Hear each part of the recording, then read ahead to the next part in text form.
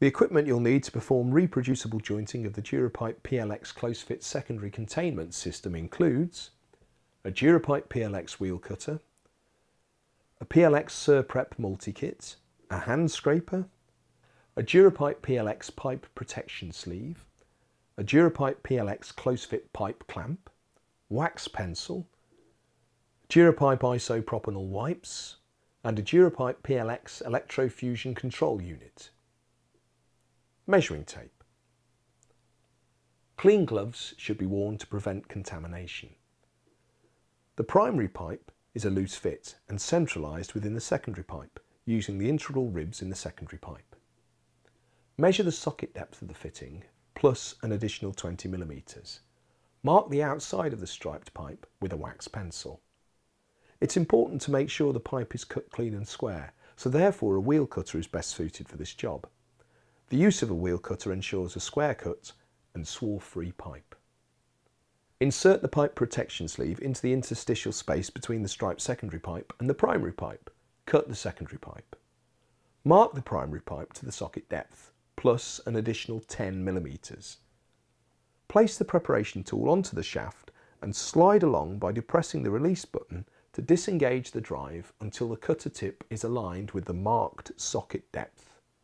Position the cutter tip 1mm above the pipe surface. Apply the spring tension to the cutter tip.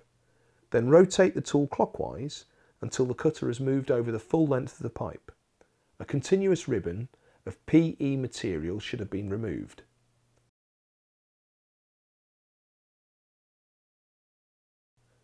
Mark the secondary pipe to approximately 100 millimeters. Remove the external oxidized surface of the secondary pipe by using a hand scraper. The oxidized surface must be removed by scraping. The use of emery cloth is not sufficient to achieve adequate fusion. Ensure that this layer has been removed completely. Hand scrape the outside of the secondary fittings. Wipe the pipe and fitting surfaces with the isopropanol wipes to ensure a clean surface. Ensure that all the pipes and associated spigot fittings are marked with the socket depth and wipe accordingly. Push the fittings onto the pipes, making sure the secondary containment closures are in position on the containment pipe. Ensure the correct insertion to the marked positions. Repeat for both sockets. Secure with the Durapipe PLX close fit pipe clamp set. Note the fusion time shown on the outside of the secondary contained fitting. Attach the reusable terminal adapters to the flying leads.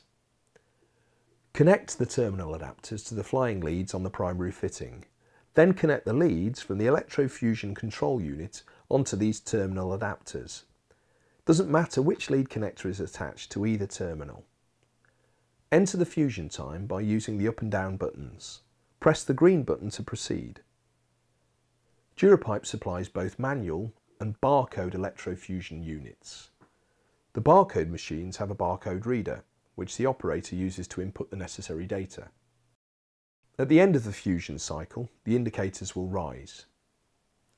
After welding, remove the terminal adapters. The flying leads can then be trimmed or tucked away. If the primary fitting has terminals, remove these terminals as they serve no further purpose following the welding.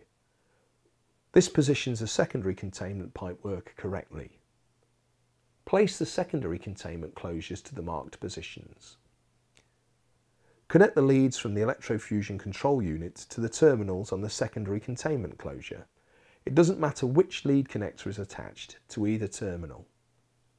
Note the weld time shown on the fittings and weld these joints. At the end of the fusion cycle, the indicators will rise.